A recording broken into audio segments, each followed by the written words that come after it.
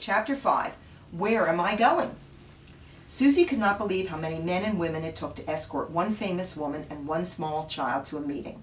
When they made their way outside the White House, Susie saw that a very special car was waiting for them. She had seen limousines on television and in the movies, but this car was very different. Susie never imagined a car could be so beautiful, shiny, and enormous as the one that was heading toward them. Although it looked to be old-fashioned, why would the car be old-fashioned? Because it's 1940. It's in the 1940s. Yeah, and it's really like back in the days. Back in the days, exactly. Um, although it looked to be old-fashioned, it had an elegance that could not compare to the cars back at home. There were many other important-looking cars in front of and behind what appeared to be Mrs. Roosevelt's car, and Susie couldn't help but wonder where they were going. When Susie climbed into the car, she felt she was entering someone's private den. The large black leather seats were soft and comfortable, and there was a small coffee table and reading lamp nearby.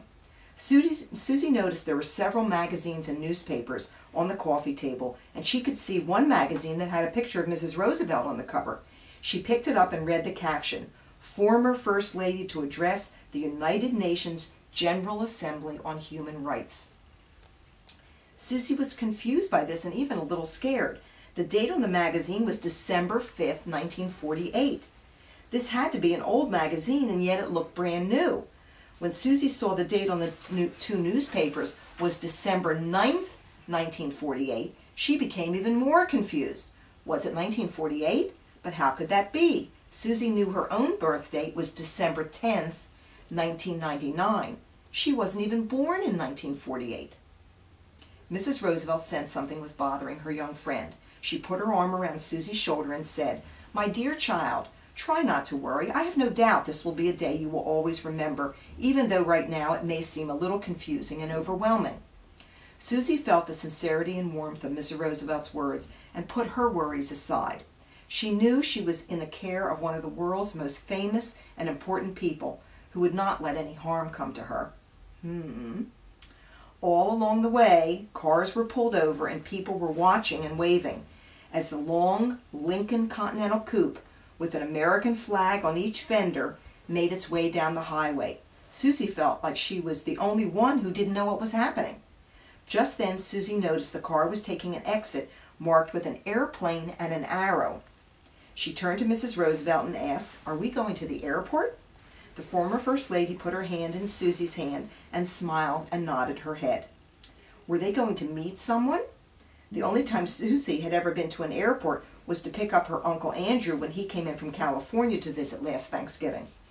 A few minutes later, the car made its way past all the check-in areas marked for the airline companies. It slowed down as it took a turn into a road that led away from the rest of the airport traffic. They seemed to be headed towards a very large building with very, very large garage-like doors. Slowly, very slowly, one of the enormous doors began to rise. Susie could see there were two shiny silver airplanes inside the building. It was then that th Susie thought she understood what was about to happen.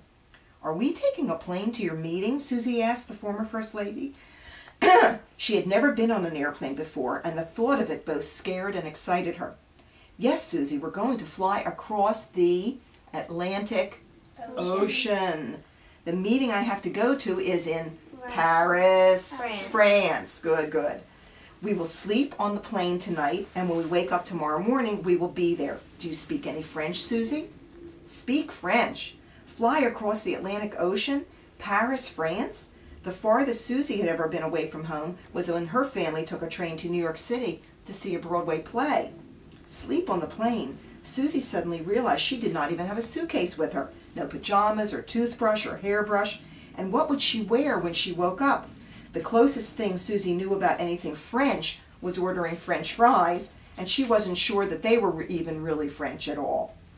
And what about her parents? They were probably wondering where she was at this very minute. Mrs. Roosevelt sensed that Susie was feeling overwhelmed. She reached into her pocketbook, took out a small envelope and handed it to Susie. This letter came to my office for you, my dear. Susie opened the envelope and immediately recognized the handwriting. Who do you think the note's from? Maybe her parent?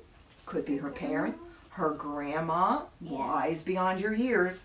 It read, My dear Susie, I know this will be an important and magical birthday that you will always remember and treasure.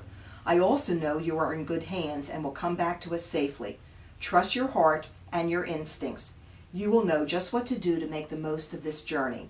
The letter was signed, With love, Granny Ella. But how did her grandmother know where Susie was, and how did she get this letter to Susie? She had no idea.